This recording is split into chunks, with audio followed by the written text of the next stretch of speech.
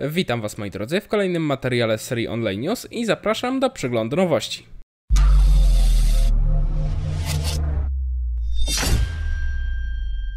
Wytrzymaliśmy 6 lat, więc wytrzymamy jeszcze jeden dzień. W piątek, 2 lipca o godzinie 21.00 startuje Open Beta Broken Ranks, która jak sama nazwa wskazuje, będzie dostępna dla wszystkich chętnych użytkowników. Open Beta potrwa 3 dni i zakończy się resetem postaci. Open Beta powinniście więc traktować jako test, sprawdzian przed faktyczną premierą gry, która nastąpi za kilka tygodni lub miesięcy.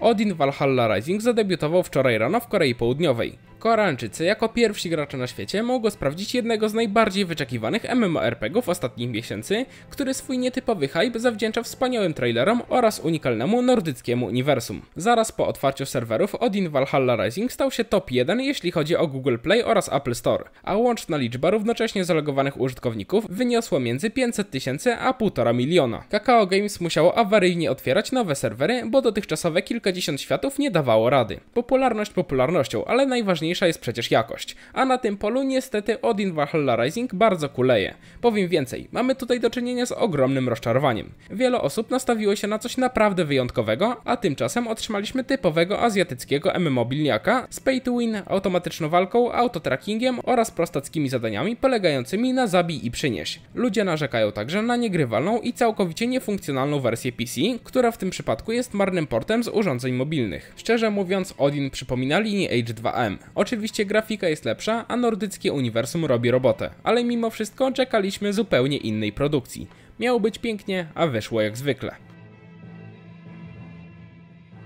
Szok i niedowierzanie, wstyd i kompromitacja. Cryptic Studios ogłasza zamknięcie serwerów Magic Legends, czyli nowego action MMO w uniwersum Magic the Gathering, który wystartował z open betą zaledwie 3 miesiące temu.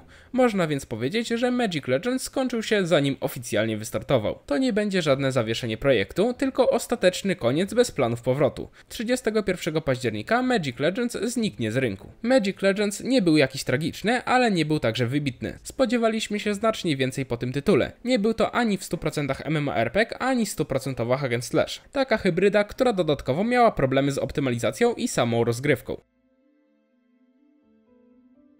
Albion Online to obecnie jeden z najpopularniejszych MMORPGów na rynku, który po mobilnej premierze podwoił liczbę graczy. Nic więc dziwnego, że Sandbox Interactive ma ambitne plany na rozwój swojej produkcji. Jeszcze w tym roku Albion Online otrzyma dużą aktualizację, która skupi się na rozgrywce w otwartym świecie oraz ogólnej poprawie wrażeń z rozgrywki. Jeśli myślicie nad pobraniem Albiona, to teraz jest ku temu dobry moment. Gra tętni życiem, a dziennie do Albiona przybywają tysiące kolejnych twarzy.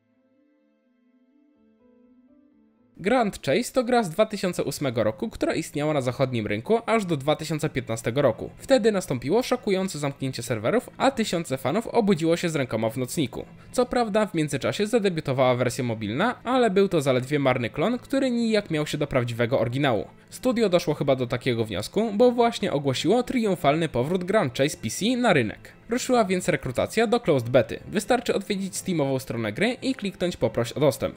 Macie czas do 7 lipca. Premiera aka reaktywacja Grand Chase jest zaplanowana na sierpień.